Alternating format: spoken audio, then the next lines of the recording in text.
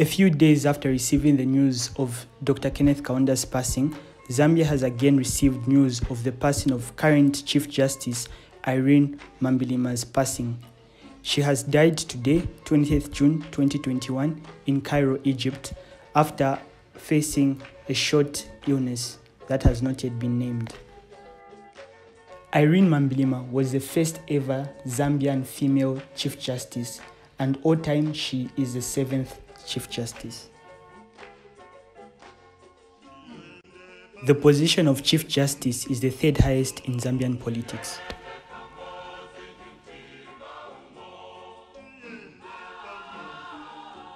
She has served as the Chief Justice of Zambia from 2015.